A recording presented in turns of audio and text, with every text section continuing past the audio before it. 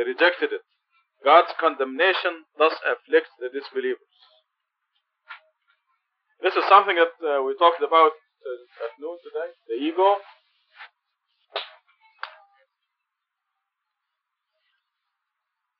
The uh, as you see from the at the beginning of this book, if you open the cover and go a few sheets,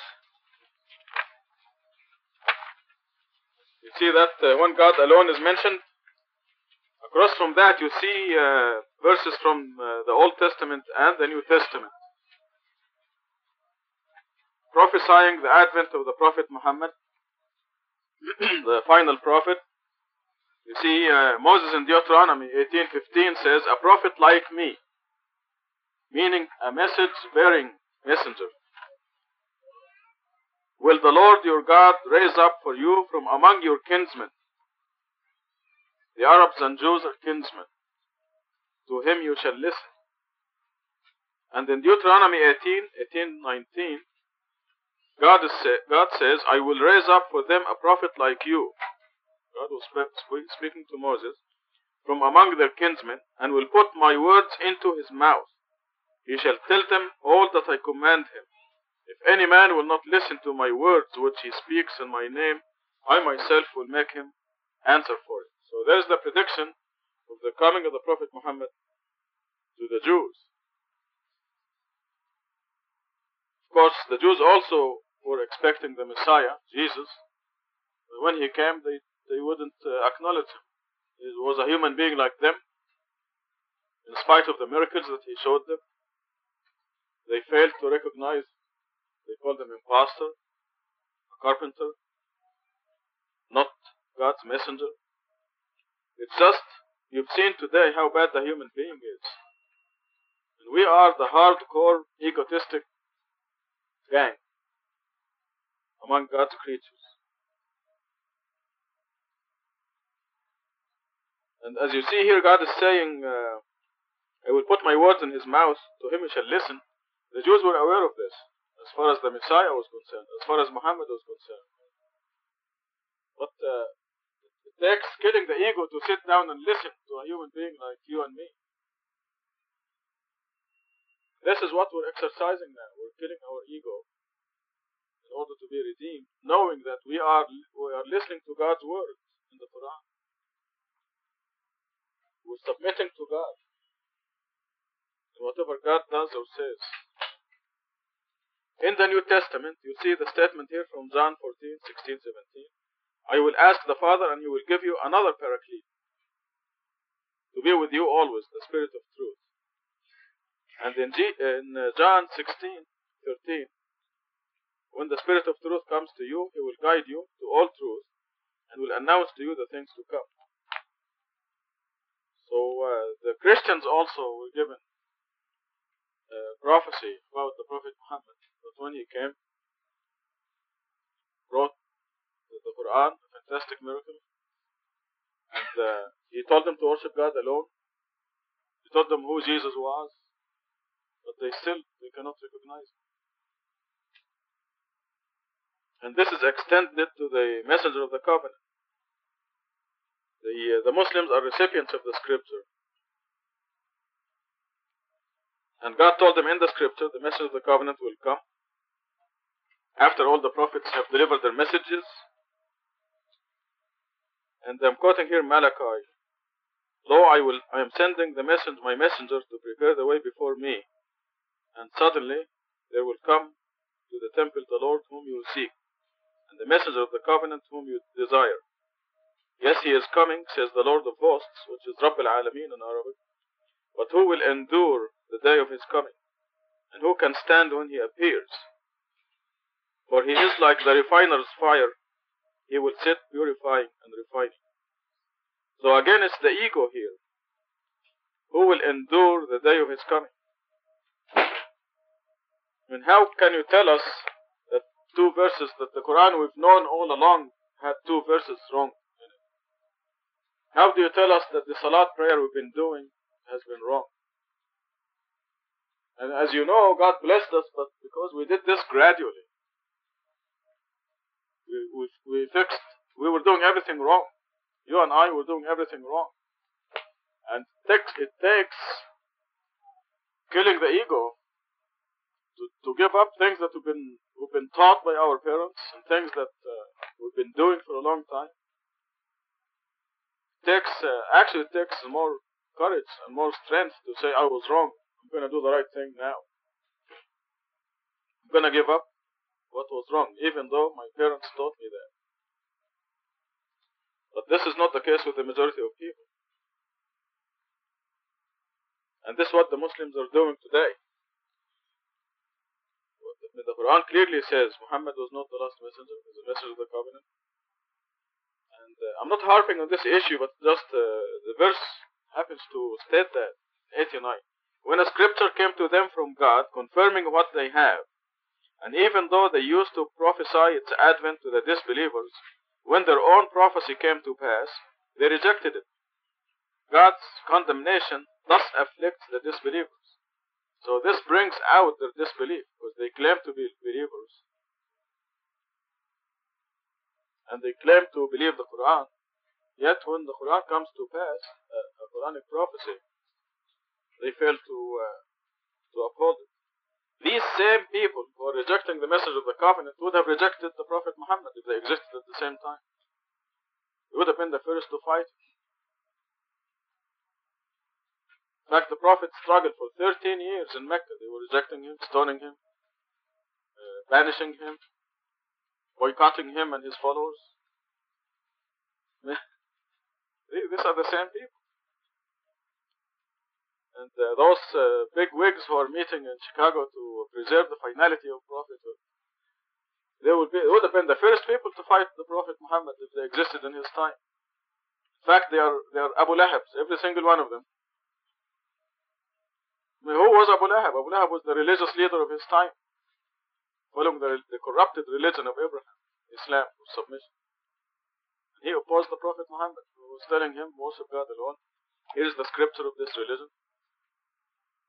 Abu Lahab fought. Number 90. Miserable indeed is what they sold their souls for, disbelieving in God's revelations, out of sheer resentment that God should bestow His grace upon whomever He chooses from among His servants. Consequently, they incurred wrath upon, upon wrath. Such disbelievers have deserved humiliating retribution. Why do they have to take these verses? This assignment. Anyway, these are quite relevant to what is happening to us these days. Miserable indeed is what they sold their souls for, disbelieving in God's revelations. God tells them a messenger will come after all the prophets, but they disbelieve. It's very clear in the Quran. And this is why they're so uh, uh, dumb in the, in the sense that they don't say anything. They're very quiet. They don't know what to say. That's why they're getting their top leaders to put their heads together, pat each other in the back, and uh, and uh, gang together to distort the definition of prophet and messenger. They don't believe God's revelations. Out of sheer resentment that God should bestow His grace upon whomever He chooses from among His servants. Where is Douglas? Is Douglas here? Hey, Douglas. Douglas was uh, rooming in a hotel in one of the conferences of the probably social scientists, Muslim social scientists. And this is one of the top leaders of the Muslims in America. Ilyas Ba-Yunus is his name. And uh, he uh, he rejected the the mathematical miracle of the Quran, just Ba-Yunus. And then uh, the next day, uh, Douglas is going to correct me if I'm wrong. The next day, uh, Douglas realized that he actually knows the miracle and he believes in it. So Douglas asked him, uh, you take it from there. Why why don't you recognize the miracle? What did he say? Why, why didn't you recognize the miracle? And his response was, it didn't come from one of us. It didn't come from one of us Muslim scholars, religious scholars. He said that he said that Rashad didn't have a right faith He's not one of us. He's not one of us. He's not a religious alim. He's not the ulama. so this is exactly what this verse is saying. out of sheer resentment, not because it is not the truth or because they do not recognize it or because they don't understand it, but it's simply out of sheer resentment that God should bestow His grace upon whomever He chooses from among His servants.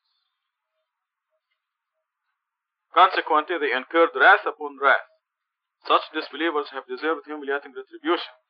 I want to uh, share with you some other verses related to this.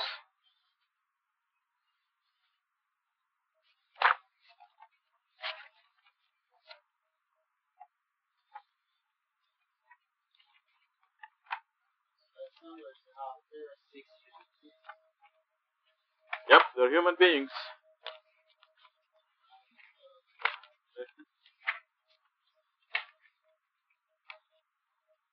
Ego, ego is the big disaster.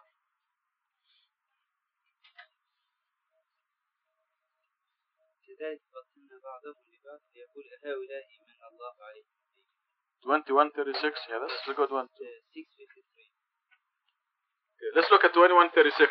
2136.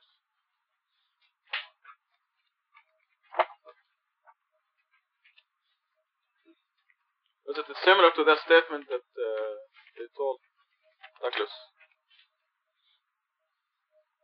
Under the subtitle, All Messengers Ridicule. 36. When those who disbelieved see you, they ridicule you. Is this the one who talks about your idols? They totally disregard the message of the most gracious. This is not the verse that I wanted to show you, Six, but six, it's related. Hmm? six, fifty-three. Oh, there's another one.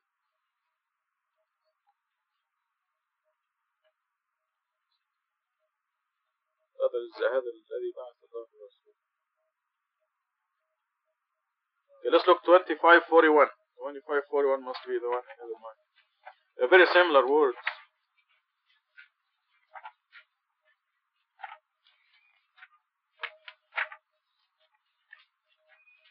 Yes. 2541, again, messengers ridiculed. When they saw you, they always ridiculed you. Is this the one chosen by God to be a messenger? He almost diverted us from our gods.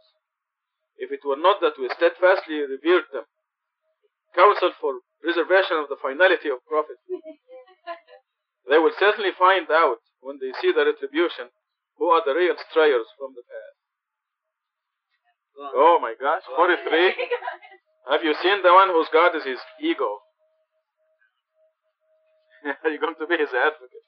So this is the reason why they cannot accept a human being, and this is exactly why God said, "If I sent, if I sent a human, uh, an angel." God said, even if I sent an angel as a messenger, I would send him in the form of a human being, and I would confuse them as they are confused.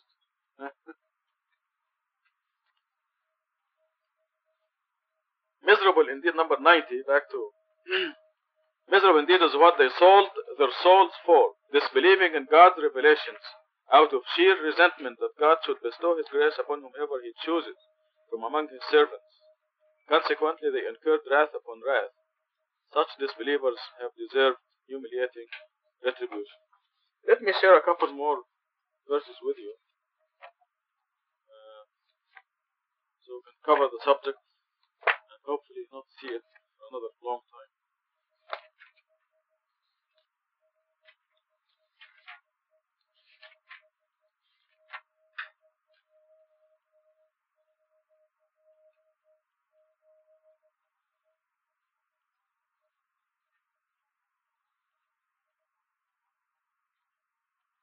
time. Forty-three, thirty-two. Then we'll move on.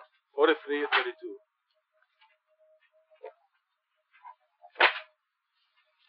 Probably thirty-one. We'll look at it.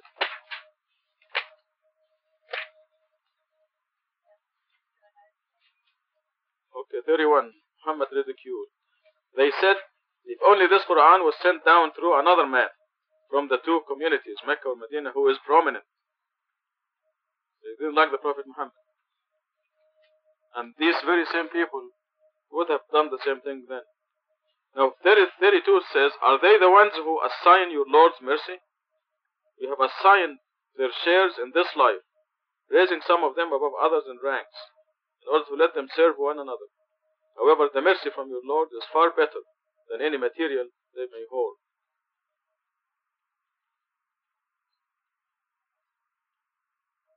But the same idea that applies to material things also applies to uh, God's mercy as far as God blessed us to be believers. They they uh, they cannot uh, do anything if they resent that. 91, back to page 14. 91. When they are told, You shall believe in what God has sent down herein, they say, We believe only in what was sent down to us. They reject subsequent revelation, even if it is the truth from the Lord, and even though it confirms what they have. Say, if you did believe in the revelations given to you, why then did you kill God's prophets if you are truthful? As you know, the prophets of Israel, almost all of them were killed by the, uh, the, by the children of Israel. Lessons from Israel 92. Moses went to you with profound miracles, yet you worshipped the calf in his absence and you turned wicked.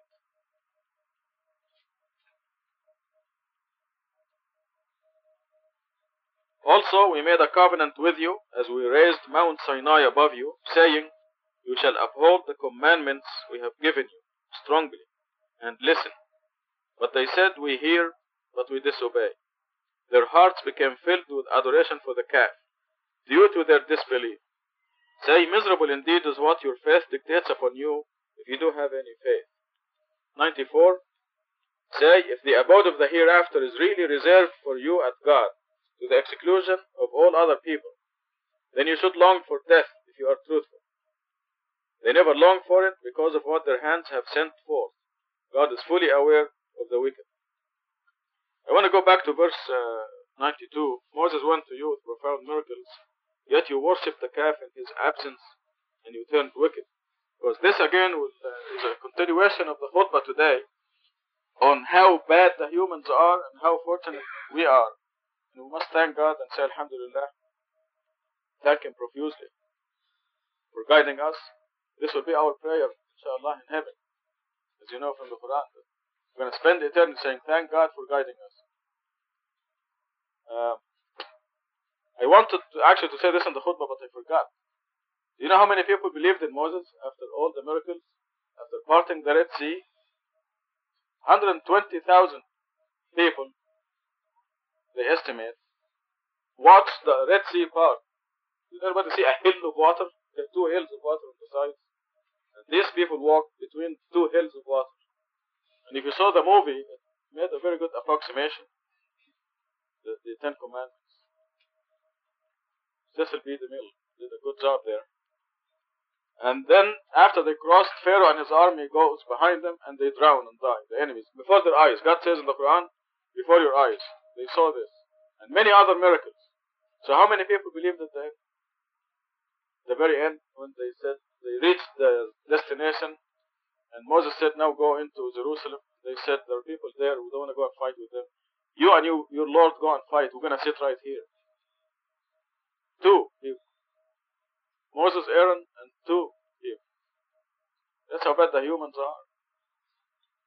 Now, fortunately, Surah 5, verse 23. This is what it tells us just two people believed with Moses. Now, I don't want you to be too scared because this is not applicable, the same principle is applicable to us. We thank God for it. God assigned us to this generation. We are very fortunate because the last surah in the Quran revealed, Surah 110, is 19 words and talks about entering God's religion in many in great numbers. And this is applicable to us. The first verse is 19 letters, and the whole surah is 19 words. But at the same time, don't be lax. You must watch your ego. Because uh, making it, as you see, and uh, worshipping God alone and killing our ego is the greatest triumph. We've made quite a few mistakes. Initially, when Satan wanted to be a God, we made a big mistake. When God gave us another chance, we made a bigger mistake. And you've seen the You've seen the proportion of how bad the humans are.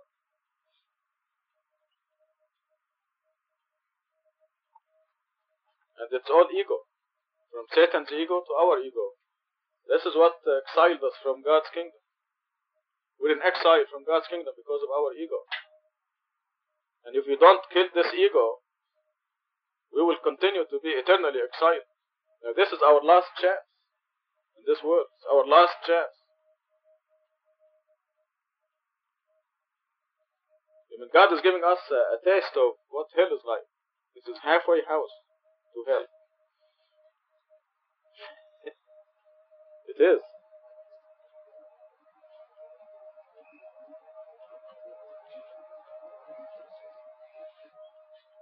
It's amazing how many problems there are in this world that we see. Yes. This is a question. Now about the ego. And wondering if you could explain using your will to suppress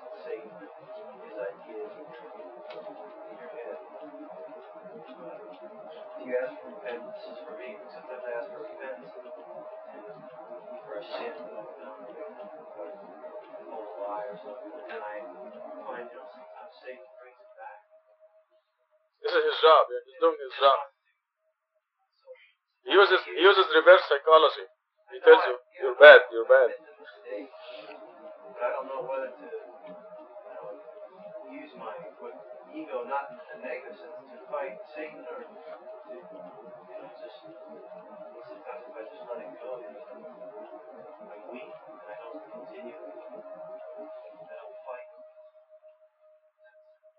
Well, you uh, what you what you need to say to to uh, Satan is that you believe God when He says repentance wipes out the sins and turns them into credits, and don't let Satan uh, trick you into into saying that uh, we're giving you a guilt complex over an old sin or a new sin. No, it's not. But- that's one aspect of it, but I mean for the future. Yes, you know, to continue to be strong and grow in righteousness. right. I mean, I find myself trying, know, sometimes I'm stubborn minded against Satan because I don't, you know, I know like I've made a mistake, but I don't want to do That's what repentance is all about. You pledge that you'll never do it again, but uh, being a human, you probably will do it again a few times until you realize that the price is too high, the pinch is too painful, or uh, the price is too high. Then you would. Uh, God knows. God will guide you. God says. Uh, God gives you uh, the means to fight Satan, and they are worship worshiping God regularly. You must maintain the five prayers, the fasting of Ramadan. You must be conscious of God, the uh, the commemoration of God every chance you get. God must be on your mind the majority of, of the time. Because one of the khutbahs that you missed was, Who is your God? And the answer is, whatever you're thinking of most of the time, that's your God. So God gives us guidelines in the Quran as to how to keep uh, God in our mind the majority of the time. Like saying, Insha'Allah, MashaAllah, Alhamdulillah, Subhanallah, in English or Arabic or in any language, as long as you think about God most of the time. So uh, reading the Quran, you have to read the Quran every day, at least two pages every day. And, uh, I know you do that. I want to get, where is your copy of the new Quran? I don't embarrass you. We have uh, copies here. I just wanted to, Okay. I just wanted to understand the mechanism of the will. The will, you know, we're, responsible to fight Satan in our willpower. Right. Is that correct? Yep.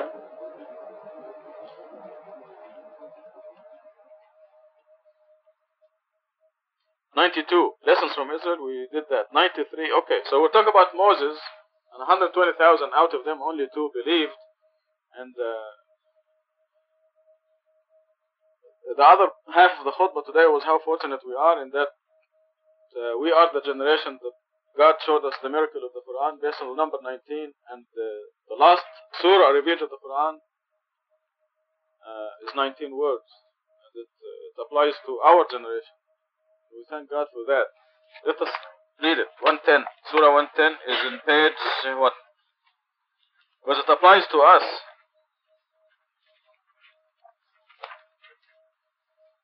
Six oh three, page six oh three.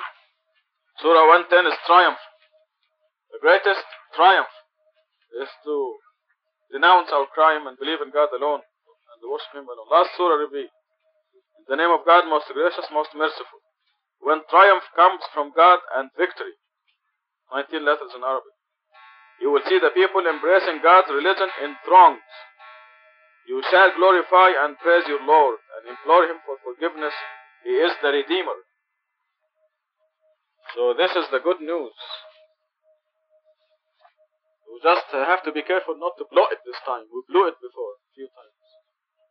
This is our last chance. We better not blow it. We want to complete the picture for you that ego, like I mentioned in the khutbah today, is not uh, that somebody comes and slaps you in the face and you turn the other cheek. This is this is not relevant to your spiritual salvation. We talk about ego as far as God is concerned. We must kill our ego, and that we have to do the five prayers, and uh, regardless of what the people think. For example, fast a month of Ramadan, regardless of what the people think. The people will not put you in heaven or hell. They will not save you. God is the one who will put you in heaven, inshallah. God is the one who will save you. God is the one who controls your kidneys and lungs, controls your health, your happiness. Directly, God says that in Surah 54. So God is the one who controls your happiness or misery. وأنه هو أضحك وأبكى. God is, this is the Arabic. Very clearly, God controls your happiness. Nothing else your friends, your relatives, your parents, your children. Nobody controls your happiness or misery. God is the only one who controls happiness. Therefore, if you are wise or intelligent, you don't care what people say. You worship God and you don't care who blames you for it. One of the descriptions of the believers in the Quran, they, they don't worry about the blaming of the blamers. لا يخافون في الله لومة لائم لومة لائم blaming of the blamer. They don't care about the any blame.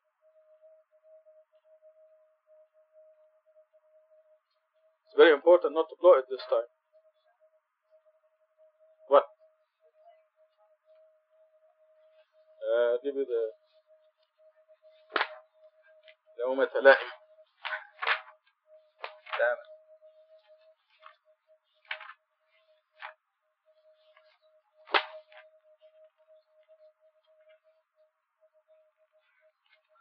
Lift the boots, for instance.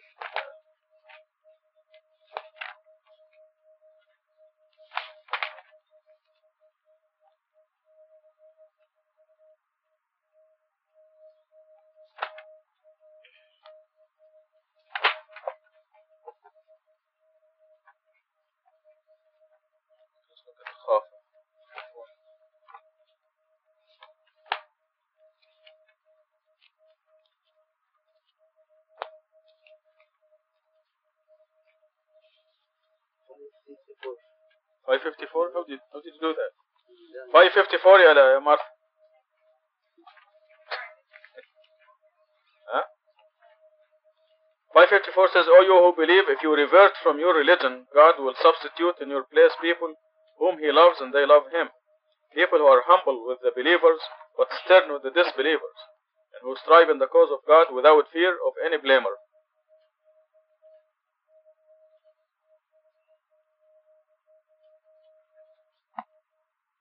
There's, uh, there's another verse also that is even clearer than this, but this is good enough.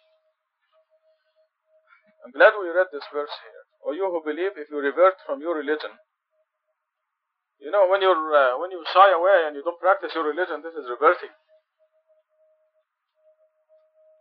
God will substitute in your place people whom He loves. God doesn't care. Only if you believe that He cares about you. God will substitute in your place people whom He loves and they love Him. People who are humble with the believers and stern with the disbelievers. This is what I was talking about. Uh, somebody slaps you in the face. You know, with the believers, you're a pussycat. With the disbelievers, you're a lion. It takes killing the ego to be humble with the believers. And you don't fear any blamer. Such is God's blessing. He bestows it upon whomever He wills. God is bounteous, omniscient.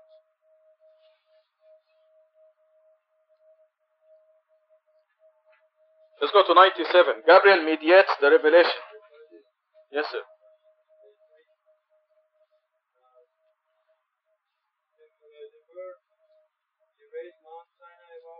Mm-hmm.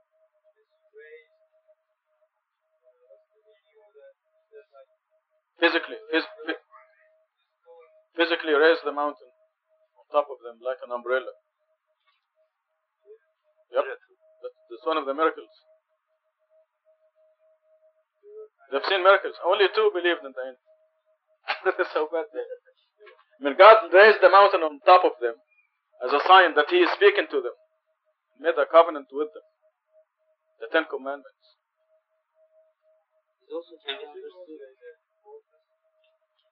I don't think it is in the Old Testament. There are some of the miracles uh, disappeared. Probably they didn't believe it or they just uh, dropped out for some reason. I, I don't remember seeing it. What do you The understand? reason mountain can be in a way that we made mountain that uh, gives you shadow. No, no, no. It says كأنه ظلة. Like an umbrella. Oh yes. we discussed Yes. this. I gave this means the umbrella. Yes. See how difficult it is to believe? Adif is wondering if it is some other raising. No, no. we were going over the Turkish translation. He Yes. was he was the he translated right. The umbrella. Yes. In another place, God said, I raised the mountain on top of him like an umbrella. See how the umbrella covers you? I don't. Yes. so it was another place. It's a miracle and it's also like a gun to your head.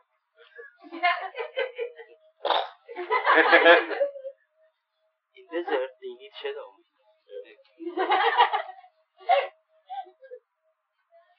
Night. What? Who?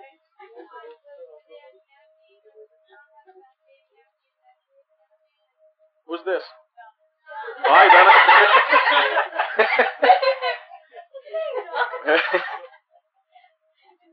what did you say, Dana? I'm sorry.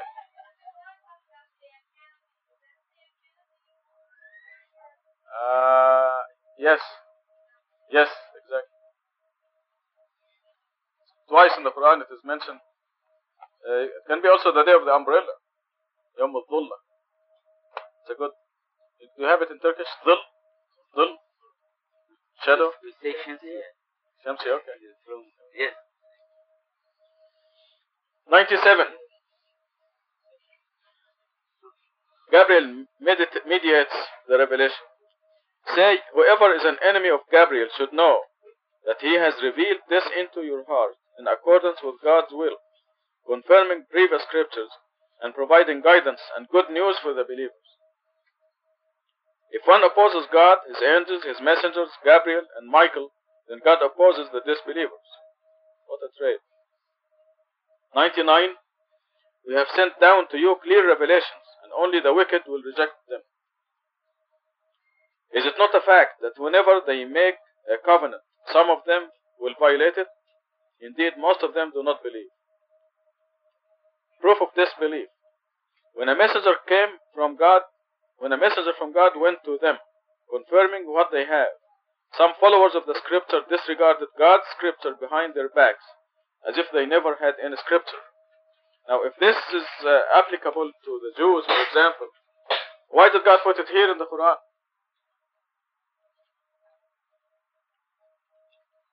Because uh, all the interpretations, understanding is that this is directed to the Jews, which is perfectly alright. But why did God put it here? It's for us to read, right?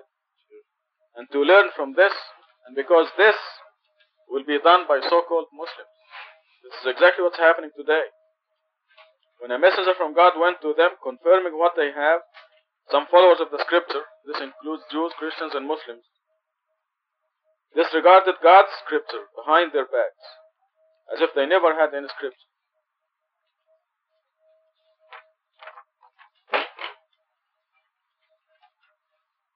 The announcement that uh, I mentioned today at the khutbah does not have the name of God in it whatsoever.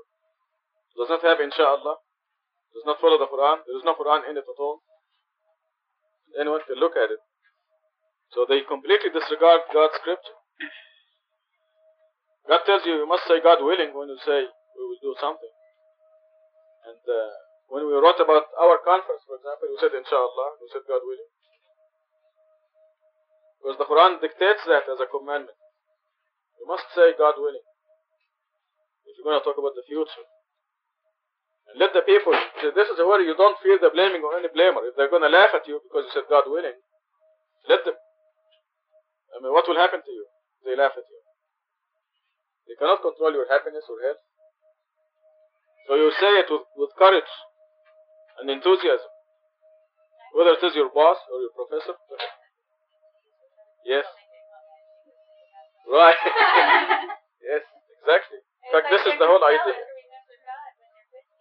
You're delivering a message when you do that. You're reminding the people that there is a God because they say, wait a minute. you know, you're just saying in the, the market. I'll come back for the tomatoes, God willing, in two hours. And they will, they will, they will. This reminds them that there is a God. You're doing a job. You're benefiting your own soul. So they completely disregard the scripture. 102. Witchcraft. They pursued what the devils uh, told them concerning the powers of Solomon. Remember moving the palace from one place to a place, 2,000 miles or something, 1,000 miles. Of course, this is one thing that we know about, but there were other powers uh, that the jinns did for Solomon. There were movies made about Solomon, the treasures of Solomon, where they showed some of these uh, superhuman things. Solomon, however, was not a disbeliever. In other words, he did not abuse the power that God put at his disposal. While the devils are disbelievers. Thus, they taught the people witchcraft. What is witchcraft? And magic. It's using the jinns. It's no big deal, actually. I think I could go to the library and learn magic, witchcraft. There are many books on witchcraft. In fact, you don't need any, any books. You can sit in a room and talk to the jinns until they respond to you if you want to get in trouble. because they are in the same room with you. And if you talk to them long enough, some rascal jinn passing by who wants to have some fun will respond to you. and like Surah 72 tells us, they will give you trouble in the end because they're much more powerful than you, I can tell you that. So you can imagine uh, an invisible lion passing by. And you're trying to pet him or something. but he's invisible. They're much, much more powerful than the lion. So it doesn't make sense that they will be your slave. They will fool you for a while. They will do certain things for you. And this is why those people that you see on the TV, they don't last. Because jinns will not serve them for too long. Maybe a few months and then they disappear. Otherwise, they would have been big hits. And uh, I remember uh, one of them, uh, when the election was between Carter and Reagan, this uh, this uh, ESP fellow using the jinns was on the Today Show two weeks before the elections, and he gave Jane Jane Pauley. That's her name. Yeah. He gave her an envelope, sealed envelope, and he said this envelope will have who won the elections and how many votes. It is Reagan or Carter, and how many votes. I will come back on the election, the next day of the election, we'll open the envelope, and you're going to see in it the winner and the number of votes. You know, unfortunately, I didn't see that that program, but he probably came and they probably opened the envelope and saw that the winner was Reagan and how many votes. So how did that happen? They show you on TV somebody who's standing on a, on a stage, and some person in the audience will take his wallet out, and this fellow on the stage will read what's in the wallet, the money, the driver's license. How does he do this? He's using jinns. Now this is fantastic, right? And it should be a show that will last for 10 years. But they don't. Because the jinn will go read the wallet and will come and whisper it in his ears and he will read the thing and everybody will be impressed. But next week, when he wants to use the jinn again, the jinn will say, wait a minute. Who do you think you are? And they will not cooperate. Surah 72.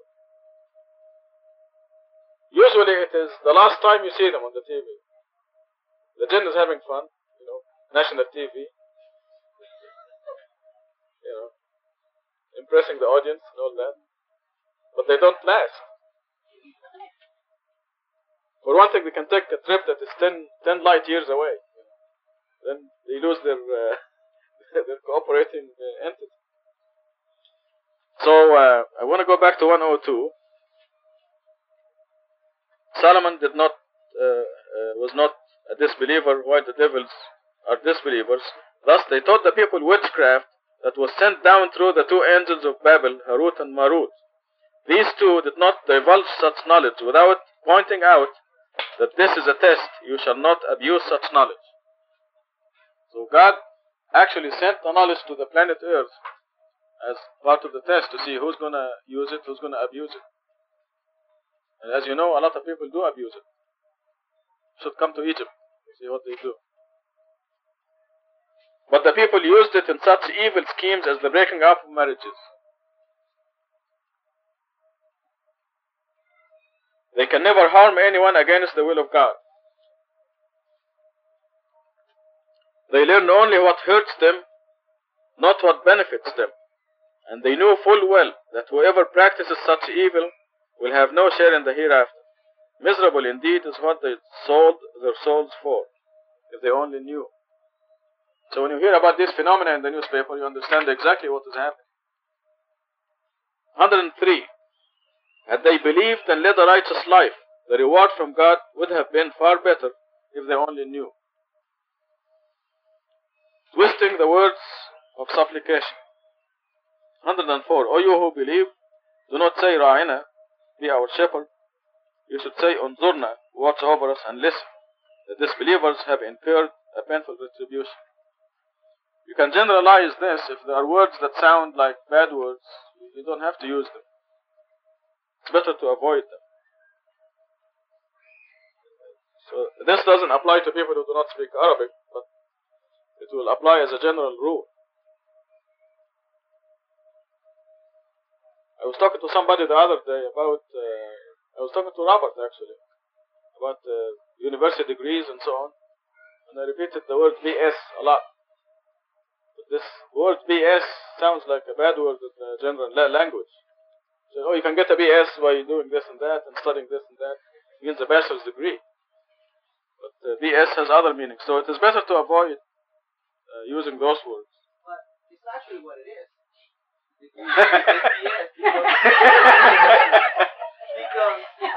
Yeah, tell us about it, Cisco. people graduating in, you know, in science and Yeah. could run a business, or it could be the opposite way. It could be graduating in business and going, you know, working as a lab technician. Yes, exactly. BS. It's a bunch of BS.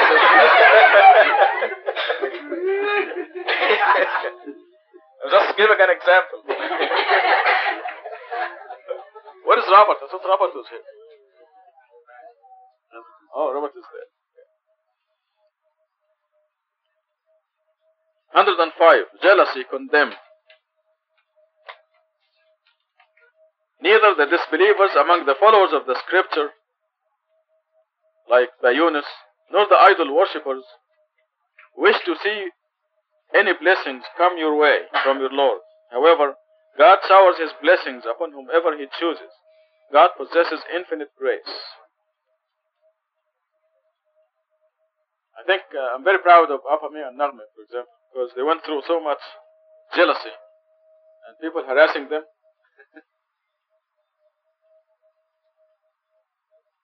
about going to Masjid Tucson, but they steadfastly persevered. And this is why they're in for lots of rewards, inshallah. Hey, Narme, how come every time I call Adib's house, you answer the phone? I mean, your sister is married now. MashaAllah. I love it though, it's beautiful. Is that right?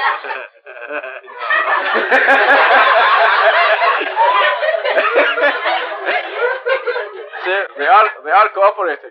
But then, and how do you explain it when, when Afame is here and they call a you?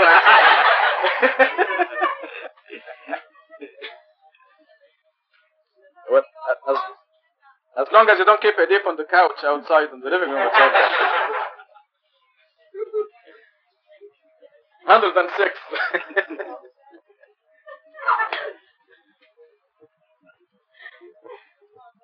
عليكم السلام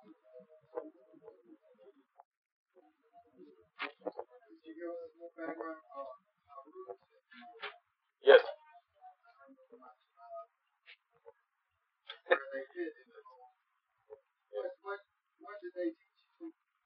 They they brought the uh, knowledge of witchcraft to the planet Earth, and they taught a few people, and they uh, spread it around until it uh, it was imported to Boston, Massachusetts. How long ago? Was it? hundred years? The witches. Huh? Yes. It's just uh, you know God sends information to the earth through angels. And Harut and Marut happen to be the angels who carried the, the knowledge about witchcraft here. Because it's a definite science. I mean, you uh, you have to stand uh, somewhere and draw a triangle and uh, throw some uh, chicken do that uh, will lure. Tell me. A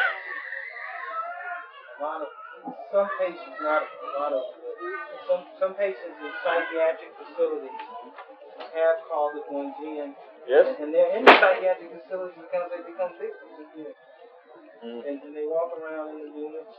You can definitely see they're possessed, and at any moment you can see the jinn playing. You feel liable just Mm. Yes, we do hear about all these phenomena a lot, but uh, the, there are people who actually practice witchcraft, and that uh, originally came down through these two angels, Harut and Marut. So you know everything about it.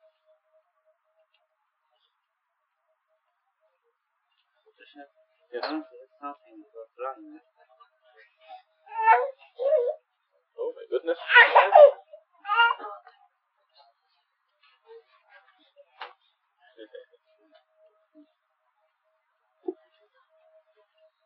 Go ahead. About the word Raina in verse 104, be our shepherd. The word by itself is not dirty word, but the meaning. In Hebrew it was. Uh, Do you know Hebrew? I don't know Hebrew. So how do you know it's not dirty word? Uh, listen, ahead. my understanding is Yes. uh, I don't know if it's correct or not. Uh, Raina means be our shepherd, and uh, uh, those people that who use this accept themselves as sheep, and uh, No. the, this is uh, No, it's in Surah 4. See, if you look at 446, Yes. it tells you. But let's not look. I don't want to waste time on this one. But it's just uh, in the Hebrew language, it sounded like a dirty word.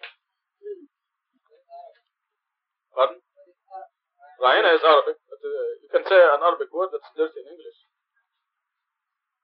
and vice versa. Yes.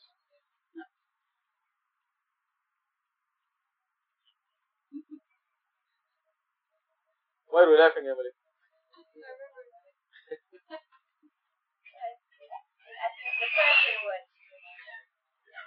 Yes, now. Yes, I remember your incident with Ihsan. Now, Um, I know that nothing happens without the will of God and they control the stuff. And here it says um, that they use their evil in scheme um, as the breaking up of marriages. They can never harm anyone against the will of God. hmm Um, so, like, some people are divorced or something, like, God willed it to happen. I mean, I don't understand, like, how that could be used. Okay, you're forcing me to give you a real life story. Okay, there's a person who uses witchcraft and tried to uh, to harm me in this way, and uh, uh, the jinn that was was supposed to come and uh, hurt me uh, came here, and, and my my we all have guards, angels, and uh, this was against the will of God. So the angels told the jinn, "What are you here for?" He said, "We're here to hit Rashad." He said, "Okay, you go back and you hit the person who sent you." And the jinn did, and sure enough, that person called on the machine here, and she was almost dying. So it backfired on her. But this is an example of uh, they cannot harm anyone against the will of God. Did that confuse you more? Okay. This person was, uh, meant as practiced witchcraft from uh, from a country that's famous for witchcraft. And she was trying to stop me. So she practiced witchcraft on me. But what happened was that the jinn that was supposed to carry out that, since it is against God's will, I didn't deserve it, I didn't do anything wrong at that day, on that day, the, uh, the jinn was sent back and did that thing to that person. And she almost died. And, uh, we have a few witnesses. Are we talking about real witchcraft? Real, this is real witchcraft. I'm telling you, she almost died. She was paralyzed. What country? Haiti? Haiti? Haiti is, is full of voodoo. And uh, voodoo, for example, is that real? Is voodoo real? It is real. And it is jinn. When you make a doll that looks like muhtasham, you know, and you get a pin, and and the jinn, what the jinn does now, the jinn, as you know, are very fast. They see that you're poking, uh, pulling his ear, for example, so they go and pull his ear. this is the mechanism of it. It's real. I mean, this is what the Quran is teaching us. Yes. So, if two people get divorced, is that the will of God? I mean, Well, everything ultimately is the will of God. Okay, but I want you to understand this: that the bad things are from us, good things are from God. For example, I use the example of the fire. If you turn the stove on, it is God's law that if you put your finger in the fire, it will hurt. Right? It's God's law. So it is the will of God that if you put your finger in the fire, it will hurt. But if you use the fire to cook your burned rice, the first the Iranian people burn the rice at the bottom. You know, they, they don't know how to cook rice, so if you, if you, you can use the you can use the fire. I can see on their faces.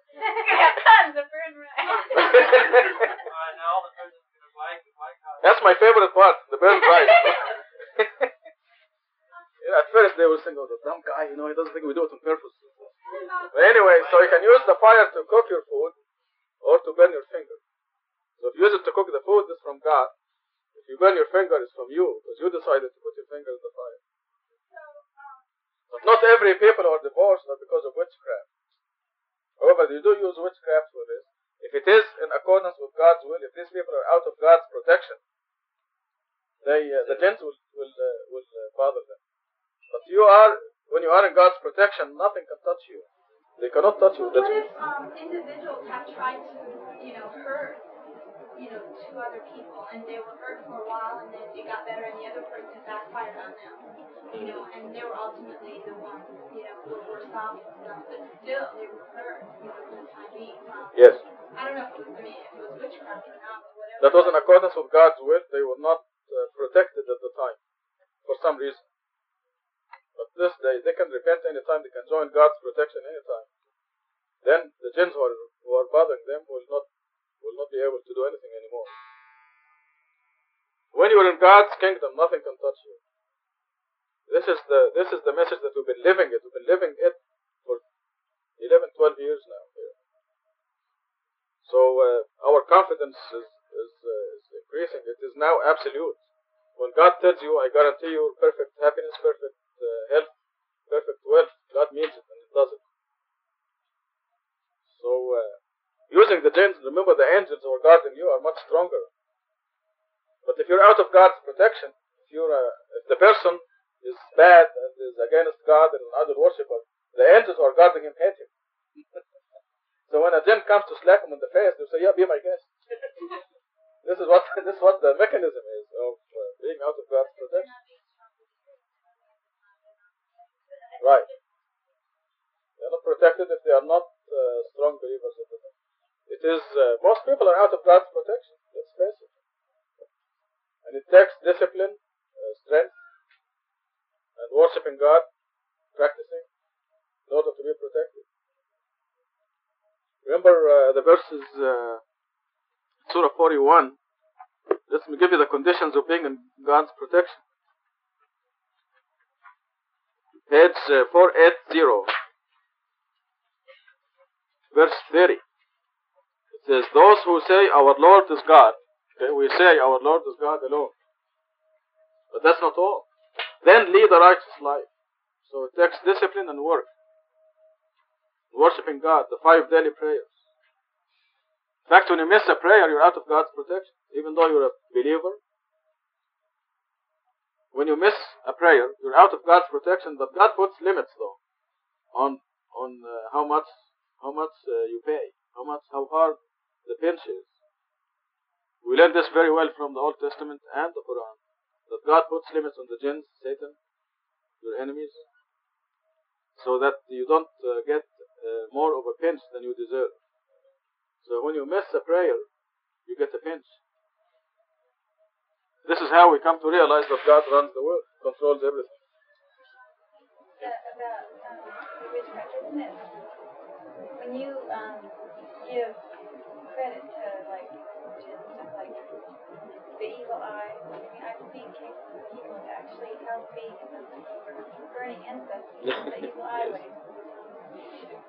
This is all over the Middle East. Yes. I mean, this is you just worship God. You go to God. You don't keep praying. I mean, to me, that it's kind of like witchcraft. Because you're giving the jinn the credit and. You're not doing stuff. You're absolutely right, and he knows that too. Oh yeah, he knows, but his family.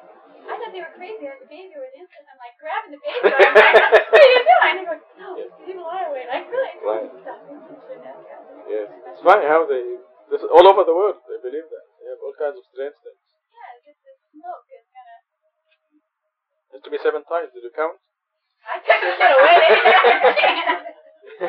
I'm sure they did it seven times anyway. and then they took the That was the grandchild. Okay. The ultimate miracle, the Quran's mathematical code, 106. When we abrogate any miracle or cause it to be forgotten, we bring a better miracle, or at least an equal one. Do you not know that God is omnipotent? Do you not know that God possesses the kingship of the heavens and the earth, and you have none besides God as your Lord and Master?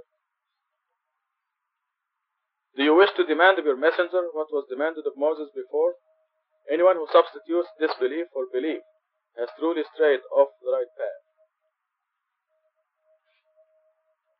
The, uh, do you not know that God is omnipotent?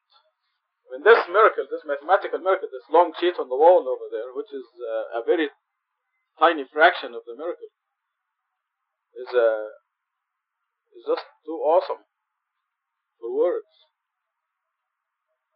And it's a very simple thing, but it teaches that God is omnipotent. I just, I can't describe it in words. How can you manipulate the numbers in this way? The physical structure of the Quran, 114 surahs, every surah has a specific number of verses, and you put these numbers in any combination, and it comes out a multiple of 19. It's almost a physical impossibility. Of course, it is not a physical impossibility because we see it, but for the humans and the jinns, it is a physical impossibility. God's greatness is indescribable.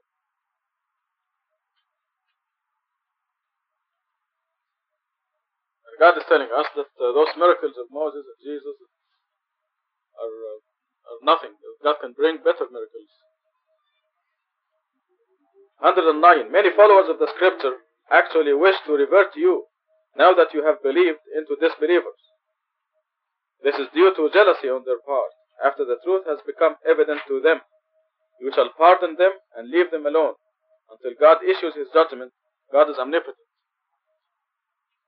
Those uh, idol worshipping Sunnis, for example, they would rather see you uh, a Christian or a Jew or an atheist than what you are now, a believer. They would rather see you disbelieve. And this was reflected uh, very clearly when uh, at uh, the meeting in Los Angeles, when this guy gave a research, a lecture saying that the Quran was hallucinations of Muhammad. And they stood up, they stood up and they gave uh, the, the evidence that the Quran is from God. Who did they attack? They're actually the same people who are meeting in Chicago next week. They attacked me, didn't attack the other guy who said the Quran is hallucination. They attacked the guy who says the Quran is from God. They would rather see me say the Quran is hallucination of Muhammad. So the Quran is really accurate in des- describing them. 110. This is a commandment to you and me. You shall observe the contact prayer, salat, and give the obligatory charity, zakat.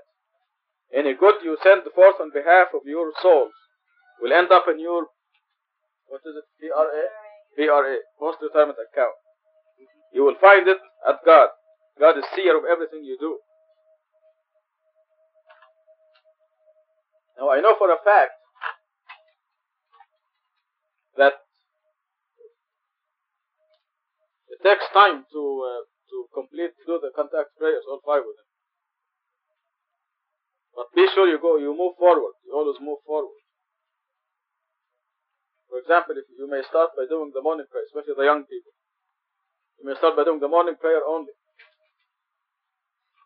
But be sure that uh, you move forward, not backward. So next time you do the, the noon, the, the morning and the night prayer. That's two of them for a while, for a few months maybe. Don't be discouraged that you cannot do the others. Then you do the morning, the night, and the noon. As long as you keep growing, you do alright. But don't hear this commandment and ignore it. You shall observe the contact prayer, salat, and give the obligatory charity, zakat. You can't keep ignoring it. This is God, God ordering you to do this. The five prayers. This is really the minimum that we can do. And it helps you a lot. You come a long way towards having God as your God. Just the five prayers. And you come a long way. And as I mentioned repeatedly before, God wants the strong and the disciplined in His kingdom. He does not want the lazy ones. God wants the strong and the disciplined who can do the five prayers. You must force your body to do the five prayers every day. If you're not doing them, you're not being fair to yourself. You're suffering too much unnecessarily.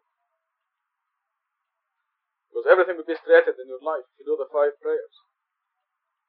And you must be hard on yourself. Put your quote unquote self on trial. And tell yourself you are bad. You must do the five prayers. Why don't you do the five prayers? You must keep after yourself until you do carry out this commandment, 110. But don't let Satan discourage you, as I said. Just as long as you move forward, you shall observe the contact prayer, salat, and give the obligatory charity zakat.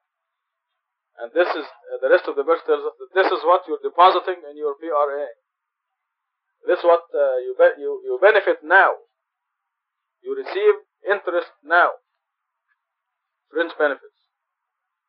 Any good you send forth on behalf of your souls, you will find it at God. God is here of everything you do. 111. They said no one will enter paradise unless he is Jewish or Christian.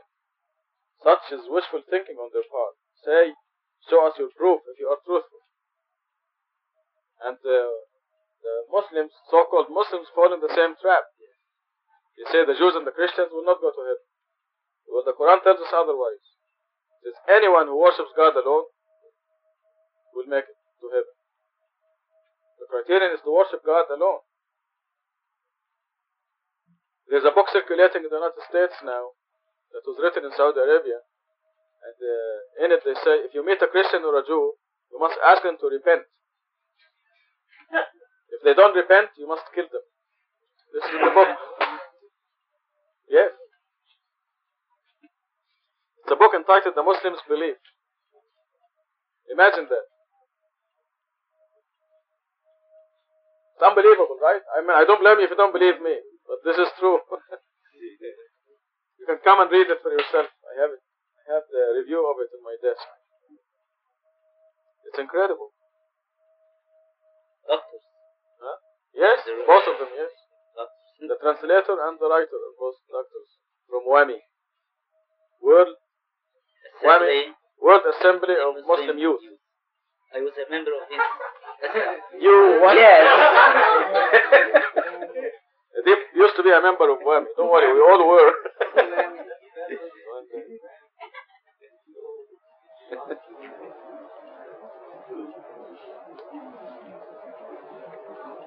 Ahmed Totonji, you know that guy? yes, of course. He's, he, uh, he was the first president of. Yes. Yes, I know him very well. Uh, 112. Indeed, here's the answer. Those who devote themselves absolutely to God And it doesn't tell you if it's a Hindu or a Buddhist or a Muslim or what. Those who devote themselves absolutely to God alone while leading a righteous life will receive the recompense from their Lord. They have nothing to fear, nor will they grieve. This is similar to the verse 62 that names names, says the Jews, the Christian, the converts, the Muslims, any of them who devotes themselves absolutely to God and lead a righteous life, they will receive the recompense from the Lord. They have nothing to fear, nor will they grieve. The advantage that you have over the Jew or the Christian is that they lost the contact prayer. You have the contact prayer. You have the complete message from God, and you have the complete practices. Nothing was lost. So the difference is that it's like a person who's going to uh, uh, Boulder, Colorado without a map, and a person who's going with a map. You have a map.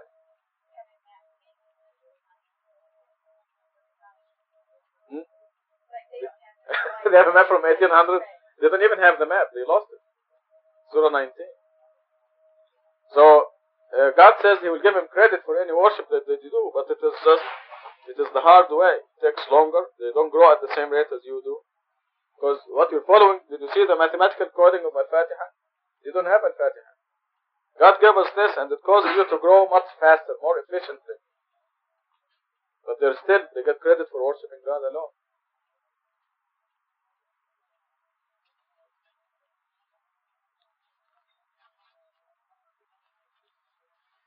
Hundred and thirteen. The Jews said the Christians have no basis. Well, the Christians said the Jews have no basis, although they both read the same the scripture, not the same scripture. Both of them read the scripture. Those who possess knowledge, no knowledge, have uttered the same kind of utterances. God will judge them all on the day of resurrection regarding their disputes. What does this say? It says the Jews said the Christians have no basis.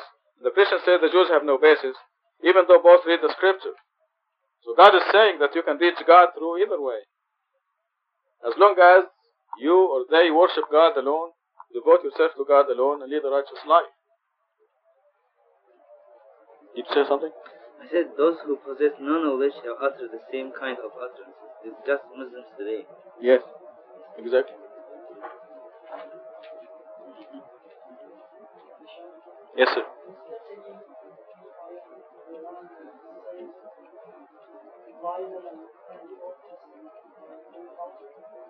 Yes, a few. Yes. Quite a few. In fact, we passed uh, maybe coming up, and uh, we passed a couple of them.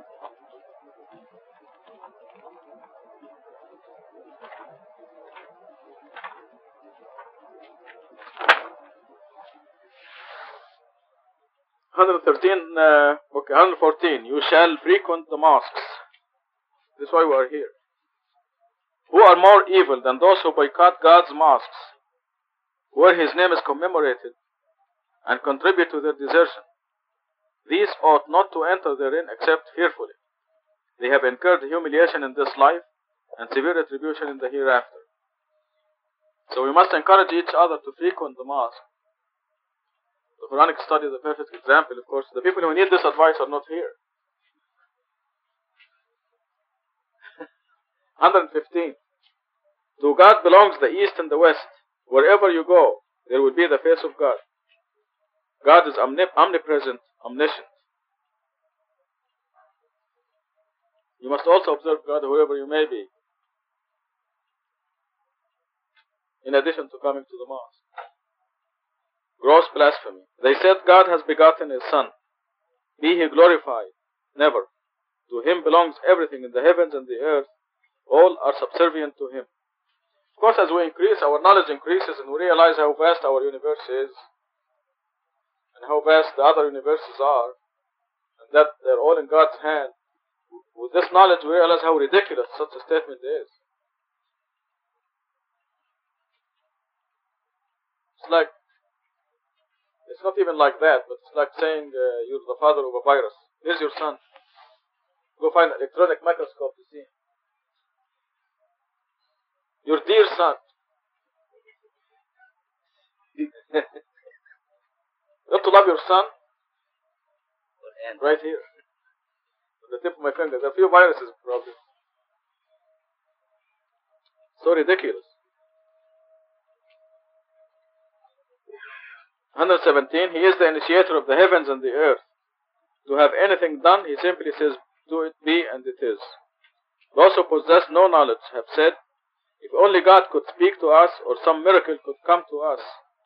Others before them have uttered the same kind of utterances. Their minds are similar. We do manifest the miracles for those who have attained certainty. This is a very important principle. When you attain certainty, you see miracles. 119. We have sent you with the truth as a bearer of good news as well as a warner, and you are not answerable for those who have incurred hell. I'm going to stop right here. Dr. Sabah, you want to take the Quranic study next week? Did you say only one? Huh? Okay. You don't want to take the Quranic study as well? Oh, you will not be here? Oh, okay. Where is Laurie? You didn't come last week, right? You didn't? Oh, I thought you had a football game or something. In fact, in fact, I meant to call you the next morning, then I forgot. Oh, okay. I thought I asked a few people. Anyway. So, Laurie will give us the Quranic study next week, inshallah.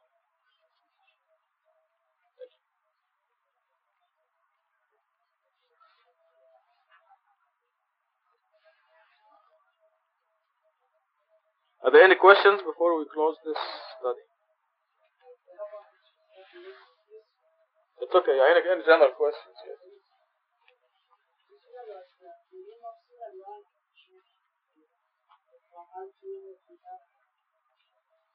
Was it? Uh, yes, it is divine. Yes. And it is bara. No. It was bara until uh, about a hundred years ago. And they changed it. So what what I'm doing here is take everything back to the original, including the names of the surahs. The names of the surahs are divine. Uh, no, I didn't need to because uh, it is known actually equally as Bara'a and Tawbah, so I didn't need. I didn't.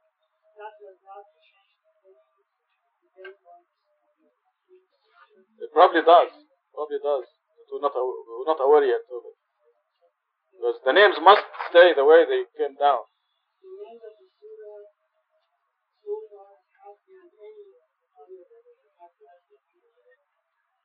Uh, let me see. The numbers of the surahs, yes. But the names, I have some significant uh, news, but it's not uh, all about the surah. There are some surahs that the name of the surah related with some very interesting yes. uh, news. I'm sure there are. I'm sure there will be because everything in the Quran is mathematically coded. So far, we don't have anything uh, established yet. But uh, this surah, according uh, to also traditional uh, knowledge, also has two names. Is.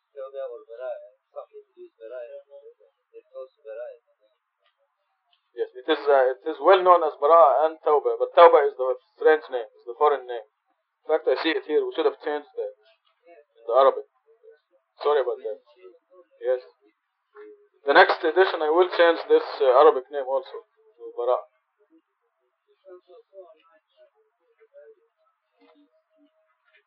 Yes, I'm sure there is uh, some mathematical basis for it. That's a good question. The names of the surahs divinely was divinely inspired. That's why this is the heifer, for example, and not anything else. Even though there are many important subjects in this surah. But if you look at the old books, all, all of them say Bara up to a hundred years ago. Then this name Tawbah starts to appear in the, in the less than hundred year old books. Any other questions? Well, let us. Uh, we're celebrating Apame's birthday today. She's born in two days. well, her birthday was in the middle of the week, so mm. she gets two fatihas. Inshallah. Also, it's a good excuse to have some cake. Nobody's birthday until uh, October 12 is Gatut this year. The next birthday is October 12th. That's Gatut. So uh, you didn't know that, did you?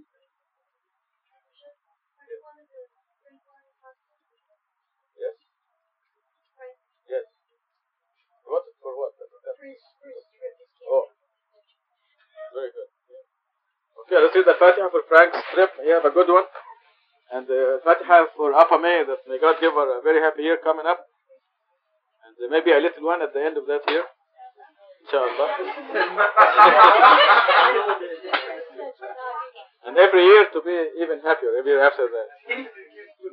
الفاتحة بسم الله الرحمن الرحيم الحمد لله رب العالمين الرحمن الرحيم مالك يوم الدين إياك نعبد وإياك نستعين اهدنا الصراط المستقيم صراط الذين أنعمت عليهم غير المغضوب عليهم ولا الضالين Congratulations, God bless you.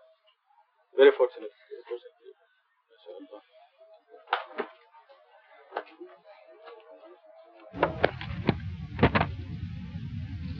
بسم الله الرحمن الرحيم. In the name of God, most gracious, most merciful.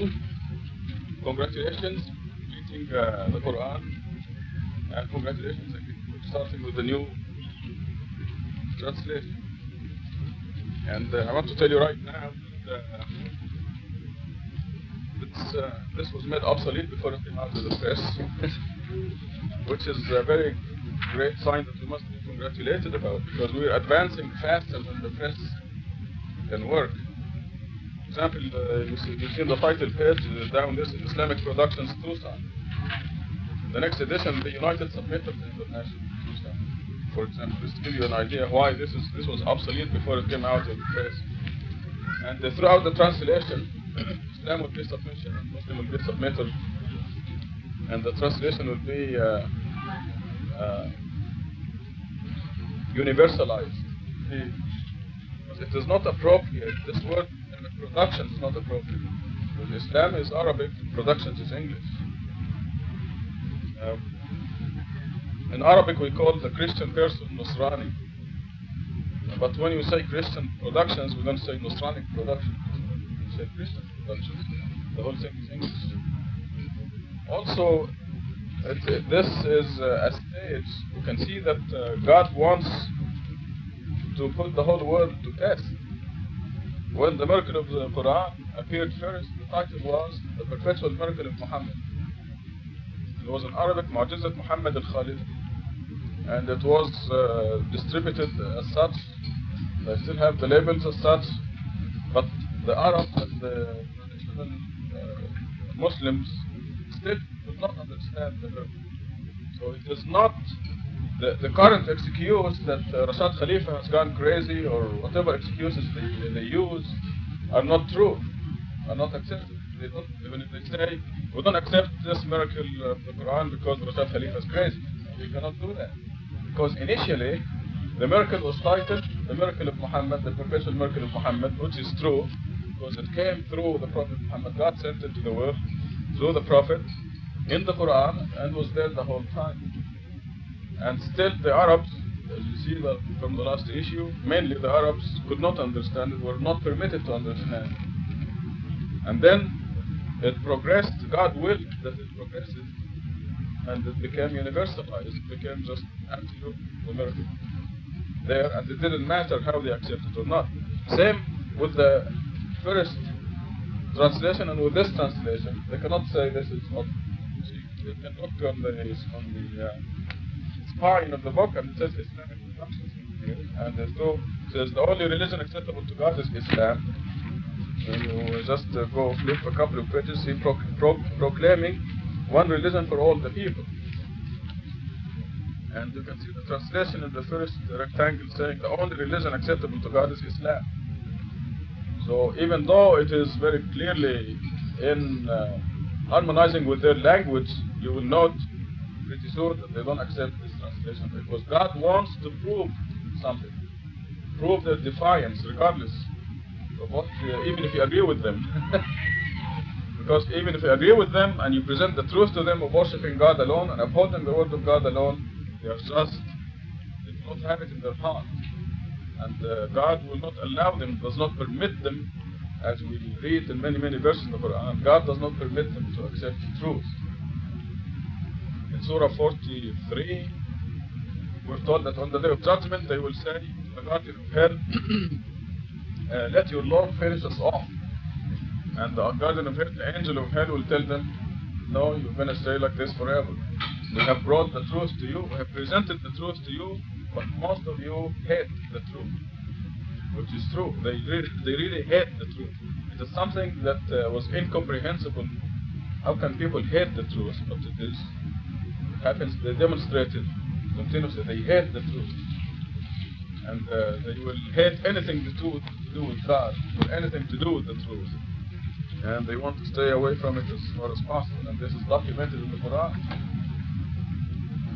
So uh, this is why I'm just trying to explain to you why this was obsolete before it came out of the, of the press.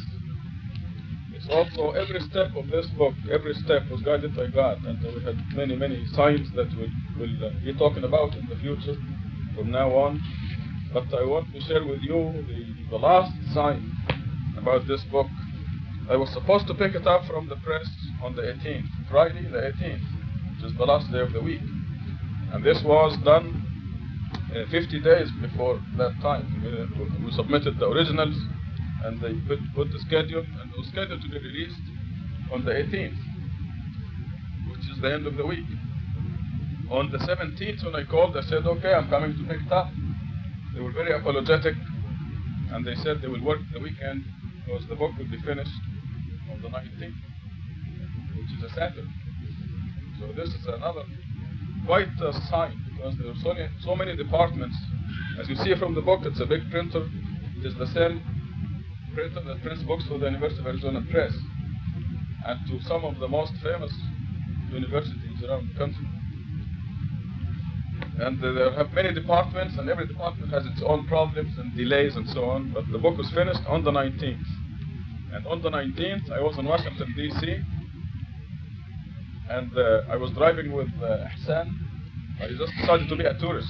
So I went out to the tourist areas, Lincoln Memorial, Washington Memorial, the, the, uh, the Capitol, and so on. And we were uh, just leaving Lincoln Memorial, driving back to his house.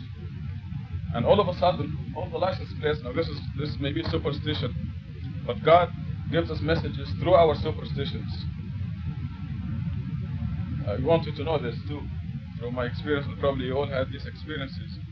If you're superstitious, for example, that if you wake up in the morning and see a butterfly standing in the northern corner, northwest corner of your, your house, in the roof, this means you'll have a good day. This is superstition. Then God will speak to you through that superstition. And uh, when you have a good day, if God wants to tell you so, He will send you a butterfly in the northwest corner, the roof of your house. That's what you know. So anyway, about 1 o'clock on Saturday, the 19th of August. And I was driving back from Lincoln Memorial, and all of a sudden, all the license plates around us, almost all of them, were divisible by 19. On both sides, people parked, and in the cars parked on both sides. And it was really a very strange phenomenon. I've never in my life seen so many divisible numbers. I said, what is going on? What is happening? What is this? And then we came to a street that is only about six or seven blocks from Hassan's house called Reed. The street, the name of the street is Reed, and on the corner is Perpetual Savings. We have also two people from Washington, D.C. They know the area, Gail and Mobile. Uh, Perpetual Savings on Reed Street, and the first car in front of us that's going to turn left is number 114. I said, this is it. The book is being finished now, so I'm going to check with the press. I said, this is it. Must be that the book is being finished now. And uh, and I, sure enough, when I, I went there, I said, I'm just curious, when did you finish yesterday? You know, you worked on the weekend. I really appreciate it. And what time did you finish? Said, oh, between 1 and 2 o'clock. so, hmm, I, we knew that. so that was the last sign.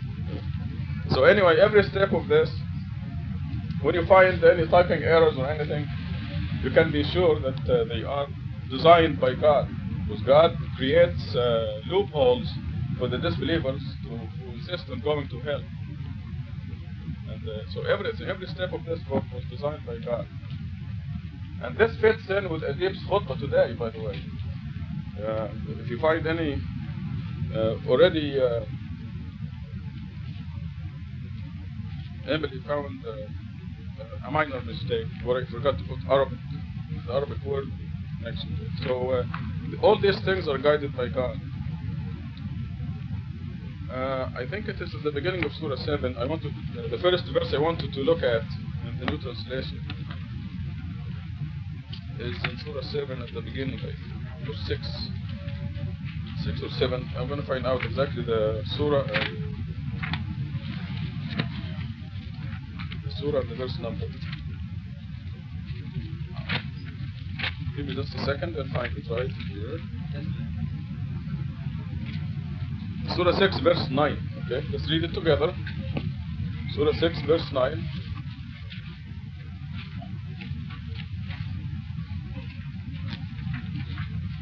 The top of page 129. Subtitle is Requirement Requirements of the Test. And it says, Had we sent an angel, we would have sent him in the form of a man, and would have kept them confused, as they are confused now. So that was uh, Adib's khutbah today. God said, even if I sent an angel, I would send him in the form of a human being, a goofy one, and confuse the heck out of them, just, just as they are confused now. So uh, it is a requirement that God. Uh, number 10 says, Messengers before you have been ridiculed. Those who mocked them have incurred the consequences of their ridicule. it's because the disbelievers, God creates these loopholes for the disbelievers to perfect it. If God sent an angel, the whole world will believe. There is an angel who's mighty and strange looking, has these powers and, and, and so what is the what is the big deal? What is the test? But uh, we are fortunate in that sense that, uh, that uh, we are passing very difficult tests at very special times, and uh, I'm, I'm passing them along with you. I'm telling you because more than 90% of the time um, I'm required, just as you are, to believe certain things that I did not know before in the past. So I know it is very difficult. Uh, in fact, uh, I probably was the uh, the most lax among many of you may have more courage than me because for, for eight years I was a secret secret uh, agent. Even now I can't bring out the word so it is just as difficult. I realize how difficult it is. So congratulations to all of you. You're very, you're very uh, fortunate people. Alhamdulillah, and uh, I know you know it. Okay, we'll uh, just take the book from the cover. Yes. Oh, we planned it this way for a long time. No, that's another good sign, you know. Because uh, here, well, the first time we got hold of the new Quran, we're starting from the beginning of the Quran. Yes. Like ISBN?